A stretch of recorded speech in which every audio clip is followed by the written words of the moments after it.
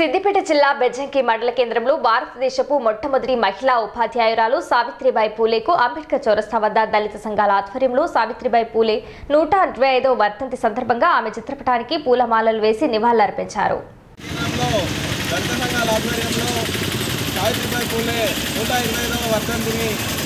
సందర్భంగా ఆమె చిత్రపటానికి పూలమాల వేసి నివాళులర్పించడం జరిగింది. సావిత్రిబాయి పూలే మహాత్మా జ్యోతిరావు పూలే సతీమణి ఆవిడ చదువుల తల్లి సరస్వతి. ఇవాళ మహిళలు అన్ని రంగాల్లో ఉన్నారంటే ఏకైక కారణం సావిత్రిబాయి పూలే గారు. ఆమె ఒకప్పుడు తను తన భర్త ద్వారా విద్యను నేర్చుకొని తన సమాజంలో అట్టడుగు వర్గాలకు మరియు బడుగు బలహీన వర్గాలు హింసింపబడుతున్న వర్గాలకు తను చదువు నేర్పించి ఇవాళ వాళ్ళను ఒక ప్రయోజనవంతంగా చేసిన ఘనత సావిత్రిబాయి పూలే. ఆమె వల్లనే ఆ రోజు భారతదేశ వ్యాప్తంగా యాభై ఎనిమిది పాఠశాలలు నెలకొల్పిందంటే ఆవిడ ఘనతనే. ఆమె స్కూల్కు వెళ్తున్న సందర్భంలో బాలికలకు పాఠశా బాలికలకు చదువు చెప్తున్న సందర్భంలో ఆమెపై రాళ్ళ దాడి మరి కొట్టడం బురద జల్లడం వంటివి చేసినా కూడా ఆమె స్కూల్కి వెళ్ళి ఆమె తన చీరను మార్చుకొని మళ్ళీ వాళ్ళకి చదువు చెప్పి బాలికలకు చదువు చెప్పి మళ్ళీ తిరిగి వస్తూ తిరిగి వచ్చే సందర్భంలో ఆ బురద చీర కట్టుకొని వచ్చింది. అలాంటి గొప్ప మహోన్నత వ్యక్తురాలు ఇవాళ సావిత్రిబాయి పూలే. అలాంటి గొప్ప మహనీయ వ్యక్తురాలు ఈరోజు మనం స్మరించుకోవడం ఎంతో ఉన్నతంగా ఉంది. తన భర్తతో కలిసి సత్యశోధక సమాజాన్ని స్థాపించింది. దానివల్ల బాల్య వివాహాలు మరియు మన బాల్య వివాహాలు కానీ మన మహిళలకు చదువు నేర్పడం మన మూఢనమ్మకాల నిర్మూలన వంటి గొప్ప గొప్ప కార్యక్రమాలు చేపట్టింది. అలాంటి మహోన్నత వ్యక్తికి సందర్భంగా మనందరం ఈ విజయ మండల కేంద్రంలో అన్ని దళిత సంఘాల ఆధ్వర్యంలో ఆమెను స్మరించుకోవడం గొప్పగా ఉందని సందర్భంగా తెలియజేస్తూ జోహార్ సావిత్రిబాయి పూలే గారు. యాదాద్రి పుణ్యక్షేత్రం శ్రీ లక్ష్మీ నరసింహస్వామి బ్రహ్మోత్సవాలు అంగరంగ వైభవంగా జరుగుతున్నాయి. బ్రహ్మోత్సవాల్లో భాగంగా రాత్రి స్వామి అమ్మవార్లను ఎదుర్కోలు మహోత్సవ ఘనంగా నిర్వహించారు.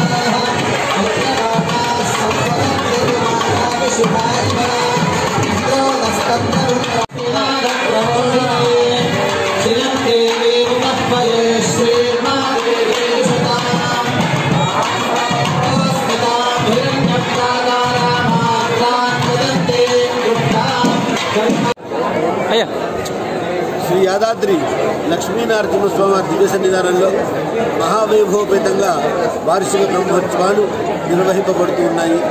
ఈ ఉత్సవాలలో ఈ రోజున అతి ప్రధానమైనటువంటి ఘట్టం అమ్మవారికి స్వామివారికి ఎదుర్కోలు మహోత్సవం.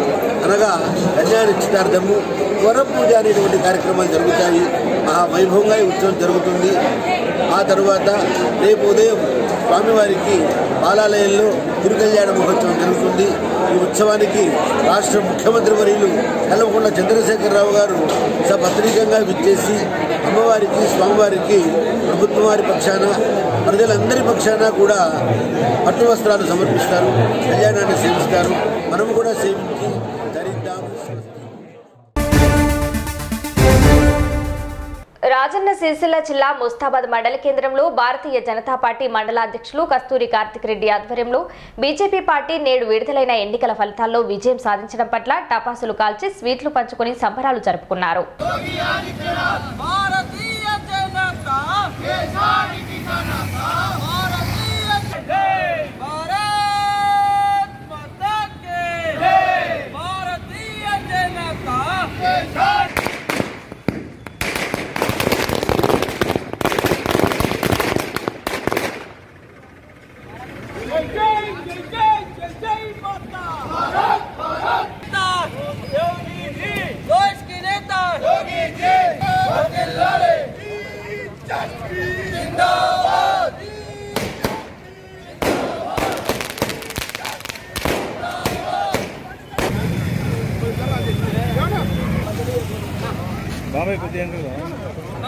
నరేంద్ర మోడీ గారి నాయకత్వం దాదా నడు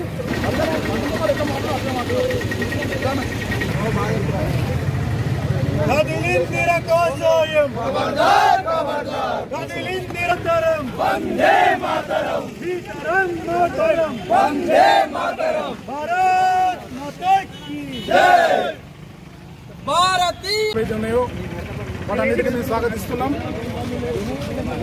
దేశంలో అతి పెద్ద రాష్ట్రమైన ఉత్తరప్రదేశ్లో ఈరోజు బీజేపీ హవా కొనసాగుతుంది. ఎన్నడూ లేని విధంగా ఒక పార్టీకి పట్టం కట్టడం అక్కడి ప్రజలు ఇది చరిత్రలో ఇది మొట్టమొదటిసారి.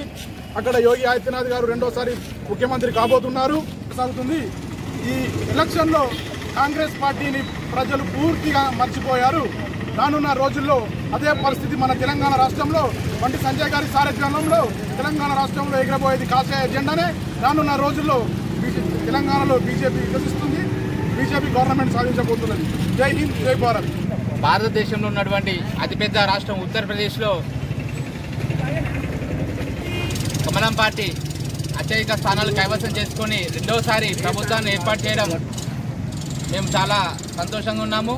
అలాగే ఇంతకుముందు ఉత్తరప్రదేశ్లో ఒకసారి పరిపాలన సాగించిన మా పార్టీ మళ్ళా కంటిన్యూషన్గా లేదు. అట్లాంటి చరిత్రను తిరగరాసినటువంటి మా ముఖ్యమంత్రి అయినటువంటి యోగి గారికి అలాగే భారతదేశ ప్రధానమంత్రి నరేంద్ర మోడీ గారికి భారతీయ జనతా పార్టీ కార్యకర్తలకు నాయకులకు అందరికీ మేము అభినందనలు తెలుపుతూ ఈరోజు ఇక్కడ ముస్తాద్ మండల కేంద్రంలో డపాసులు పేల్చి సీట్లు పంపిణీ కార్యక్రమం చేసుకోవడం జరిగింది. ఈరోజు నాలుగు రాష్ట్రాల్లో బీజేపీ హవా కొనసాగడం రానున్న రోజుల్లో తెలుగు రాష్ట్రాల్లో కావచ్చు మిగతా ఎక్కడైనా ఏదో చూసుకున్నా కానీ భారతీయ జనతా పార్టీ తరఫున ప్రజలు కావచ్చు ఎవరైనా కానీ భారతీయ జనతా పార్టీ తరఫున ఉండరు అనేది దానికి ఒక రిఫరెండం. రాజన్న సిరిసిల్ల జిల్లా ముస్తాబాద్ మండల కేంద్రంలోని జెడ్పీహెచ్ఎస్ బాలికల పాఠశాలలో ప్రధానోపాధ్యాయులు రవీందర్ ఆధ్వర్యంలో భారత నాస్తిక సమాజం అధ్యక్షులు బైరి నరేష్ పాఠశాలలోని విద్యార్థులకు మూఢనమ్మకాలపై అవగాహన కల్పించారు. సందర్భంగా కోరుతూ భారత నాస్తిక సమాజం రాష్ట్ర అధ్యక్షులుగా ఇష్టం లేనటువంటి వాళ్ళు అమ్మా నాన్న అంటే ఇంకా ఒక ఏహ్యభావం ఉన్నటువంటి విద్యార్థులు కొన్ని పసుపు కుంకుమలతో చిల్లర పనులు చేయడం మూలంగా మనకి అది వేరే విధమైనటువంటి విధానంలో ప్రచారంలోకి వచ్చింది. ఈ క్రమంలోనే మనకి ఏదైనా శక్తి నిరూపించగలరా? కార్యక్రమంలో మేము నిర్వహించే వాళ్ళం. ఈ మధ్యలో గ్యాప్ ఎక్కువ మూలంగా తర్వాత మనకు అకాడమిక్ ఇయర్ చాలా షార్ట్ టైంగా కుదిర్చేటువంటి ప్రయత్నంలో దాని కాస్త ఆలోచనలో పెట్టలేదు.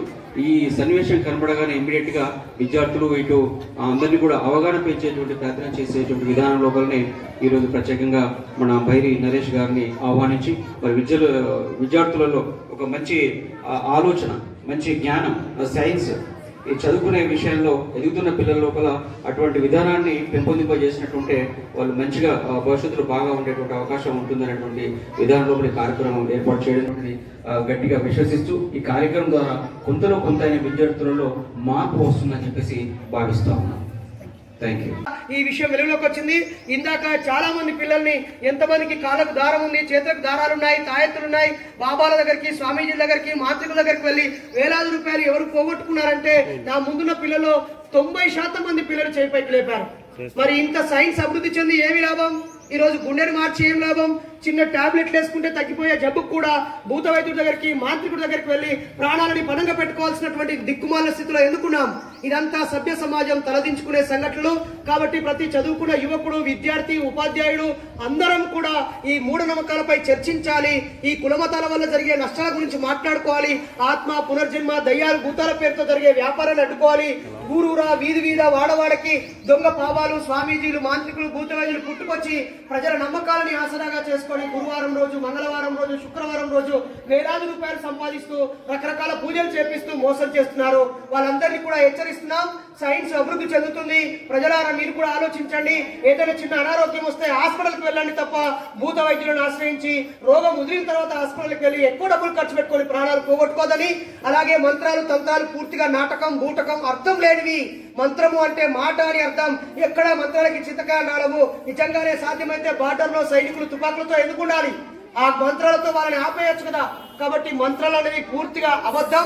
మీరు నమ్మొద్దని మీ తల్లిదండ్రులు మంత్రాల పేరుతో పక్కింటి వారితో గొడవలు పెట్టుకొని ఉదయం బూతు మాటలు తిట్టుకుంటూ నిమ్మకాయలు జీడిగింజలు పోకలు ఖర్జూరాలు బూడిద గుమ్మడికాయలు విభూది తాయెత్తులు ఇవన్నీ ఉపయోగం లేనివి.